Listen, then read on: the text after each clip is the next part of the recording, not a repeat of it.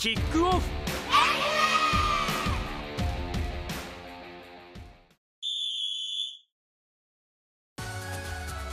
先週土曜日愛媛 FC のホームニンジニアスタジアムで展示されたある横断幕。たくさんのメッセージは県内19のデイサービスや介護施設で集められたシニアサポーターからのもの。これは J リーグとサントリーウェルネスがサッカーを通じて世代を超えたコミュニケーションの輪を広げようという全国20の J クラブと連携した企画で愛媛 FC でも初めての試み。およそ300を超えるたくさんのエールが人生の先輩方から愛媛 FC の選手たちに送られました。さあこのエールを力にたくさんの人をワクワクさせる試合を。首位の愛媛は昇格争いのライバルとなる3位沼津との一戦でした。前半18分最初にワクワクさせてくれたのは3試合連続のこの人でした。谷本から深沢縦に入れて茂木折り返して松田力。3試合連続弾。テンポの良いコンビネーションから最後は茂木松田力のホットライン開通。絶好調のエースはゴール量産体制。愛媛が先制します。続いては後半11分。深沢が中央で奪うと石浦からリターンをもらってグランダーで中央そこに深堀俊平。愛媛追加点。深堀の7試合ぶりのゴールはシーズン自己最多に並ぶ5ゴール目です。そして最後は後半23分。右サイドから木村が力強く突き進み中央の石浦へ。そして最後は茂木。これで3対0右サイドから木村。中央で冷静にさばいた石浦。そして茂木でフィニッシュ。松田の先制ゴールをアシストした後は試合を決定づけるゴール。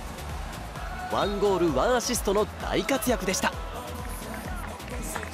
4279人の観客を前に3ゴールで快勝。13試合負けなし。この勢いは止まらない。今治は8位奈良は5位。5節ホームの第1ラウンドでは1対1で引き分けた相手。試合は後半に動きます。照山からのロングパス。をビニシウスが優しくラストパス。ズドーン!千葉 !4 試合ぶり8試合で5ゴール目。いや美しい!ビューティフルなロングカウンターをもう一度。起点はセンターバック照山。60メートルは超えてますかね。でアンセルフィッシュなアシスト。からの大礼。あー全てが美しい。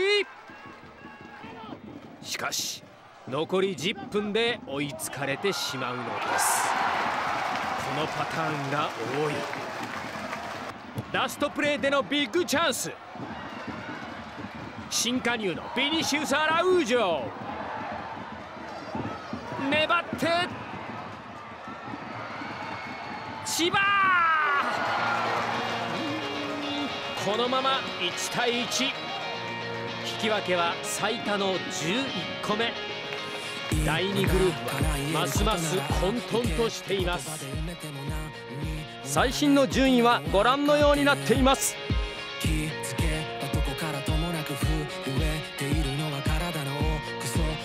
食い続ける劇場か。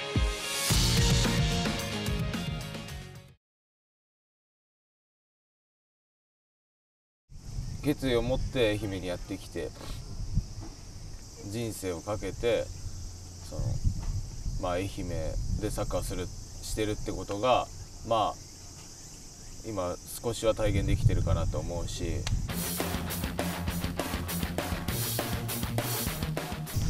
愛媛市がここにいるのも許せないし俺が今ここにいるのも許せないし。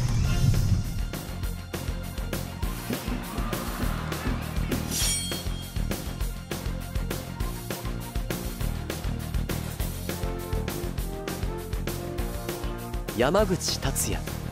神奈川県出身の23歳。今シーズン東京ヴェルディから完全移籍で加入しここまで24試合出場。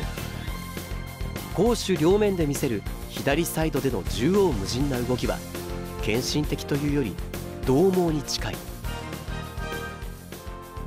まあ、僕が目指してるところからしたら現段階っていうのは全然まだ到達できてないところですし、まあ、まあ向上心、まあ、裏を返せばそのハングリーさだったりが自分のプレーの活力だと思ってるしチームとしても俺は愛媛市はこんなとこにいるチームじゃないって本気で思ってるんでいちゃいけないチームだと思うしもっと上に行かなきゃいけないチームだと思うんでここで戦ってることがありえないからこれからしたら。だからまあそれそういう思いがプレーに出るタイプだし溢れるのはもっと上手くなることへの欲求。J2 から J3 カテゴリーを落とすことにも抵抗はなかった。すごい、まあ、僕を必要としてくれてたんでその思いに惹かれてきたっていうのはもちろんありますし。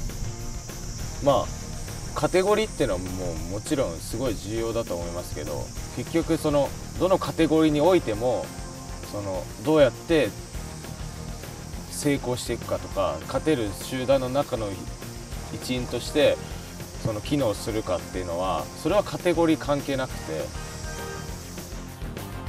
必要としてくれる環境で自分は何者になれるのか。武々しいプレーとは裏腹に山口はクレバーに考えている。やっぱ見てきてくれたお客さんに勝ち負け以外の付加価値を見出してもらえるっていうのはサッカー選手はやらなきゃいけないと僕は思っててその見てる人が感動するようなプレーとか気持ちを動かせるようなプレーを俺はあると思ってるしその今年から特にそれを意識してやってるのでだからまあ最初にもう愛媛でどうなりたいか愛媛をどうしたいか自分個人の選手としてもどうなりたいかどうあるべきなのかっていうのを全部細かく決めてプレーしてます。そして今首位をひた走るチームにおいてなくてはならない存在となった。白くならないといけないと思ってきてるんで本当に。そういう強い使命感を持ってきてるし俺まあおごりとかそういうことじゃなくてもう俺の力で昇格させるって。でまあみんなも一緒にね。で俺も混じってみんなと一緒に昇格するっていう決意を持ってやってるのでっていうのをプランニングしてきてるからそのこういう結果になるのは当たり前だと思ってるしここまでやってきてるからみんなで。だからそこも驚きもないし自覚もあるし今後もそうなっていくともっとより良いものになっていくと確信してます。臆することなく言葉に出す。思いも未来図も。俺はなんかその裏でちゃんと努力してみたいな実はやってたっていうのがかっこいいタイプみたいな科目で努力家でみたいなのが結構評価されるじゃないですか、でも俺は俺やってるよ。俺頑張るしこうなるよ。俺絶対勝つよ。って言って勝つやつが一番かっこいいと思ってるんで俺は、うん、みんなを引っ張る力はどっちがあるかって言ったらやっぱり俺が勝つから俺がやるからみんなついてこいよ。って言える人間が一番責任伴うし一番覚悟は必要だと思うんで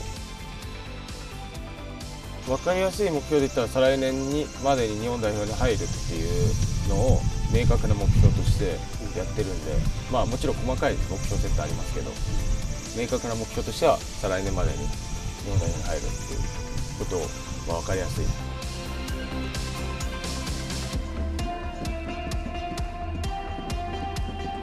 なんかいいことが起こってるとあこれから悪いことが起こっちゃうかもしれないとか思い始めるとその不安要素がどんどんどんどん見つかっていくそういう目でいるとね。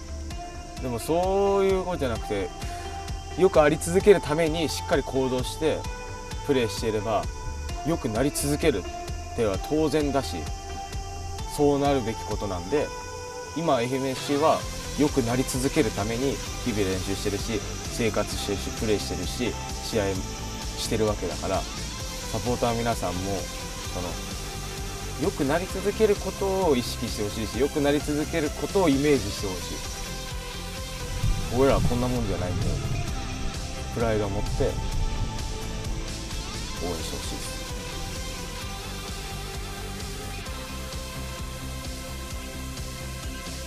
いとにかく本当に俺は負けず嫌いだから。愛媛市がここにいるのも許せないし俺が今ここにいるのも許せないし。もっといいものであるべきだから。